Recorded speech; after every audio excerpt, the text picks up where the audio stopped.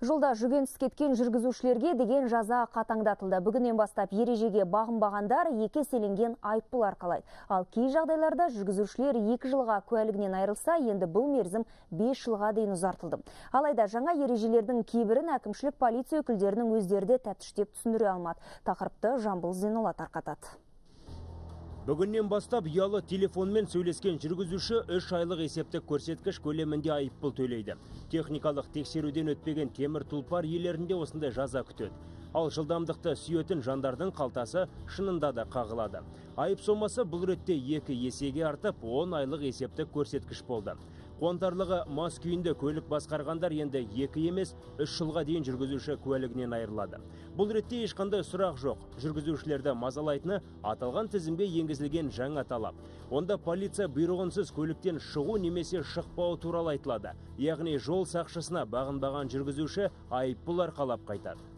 Қызметкердің рұқсаты бойынша шығады өйткені осы былтырғы саңда қарағанда уже мың деген неде болды случай болды деп айтамыз ғой қызметкерге құқықтық тәртібін бұзып погон погон жұлып алған кездер болды құқық тәртіпшіні ұрған да болды сондықтан сол мәртебеде пассажир және жүргізуші көліктен шықпасын деген міндет қойылғанбыз жүргізушілермен қатар жүргіншілерде жол ережесін бұзған жағдайда қатаң жазаланады. Ал айыппұлды енді кез келген терминалдан төлеуге болады.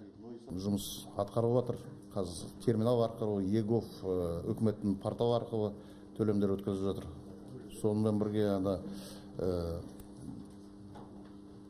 қазір ашылған специализированный цон дейміз ғой. Солар арқылы онда да бір терезелік арқылы осы пайыздарды төлеп әкімшілік практикаға келмей ақ соны уже егов неменесінен көруге болады. Бірақ жаңалықты елорда жүргізушілері әрқилы қабылдады. Полицейлер шаш ал десе бас алатын әдетіне тағы басты дейді олар. Ережені бұзбау үшін айту керек адамдар. Ана нені қатайту керек праваны сатпау керек. Праваны сатқан сатып алады да содан ережені бұзады байдың балалары. Ерке серкелері. Бұрынғы тоғыз мың штрафын қазір он сегіз мың қылып жіберді. он сегиз мың алгандан кийин машинаны тастап жаяу жүру керек болду ғой басқа не өзгерістер осымен шектелмек емес. Қазан айына қарай жүк және жолаушы тасымалдаумен айналысатын көліктерге эра глонаш жүйесін орнату міндеттеледі. Құрылғы арқылы апатқа ұшыраған көлікті оңай тауып алуға болады. Сондай ақ қазанда сұранысқа ие мықты нөмірлерде сатылымға шығарылады. Бағасы 250 мыңнан 450 мың теңгеге дейін жетеді.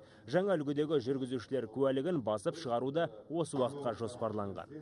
Жамбыл зейнолла өмірбек ізімов аманжол байғазин астана.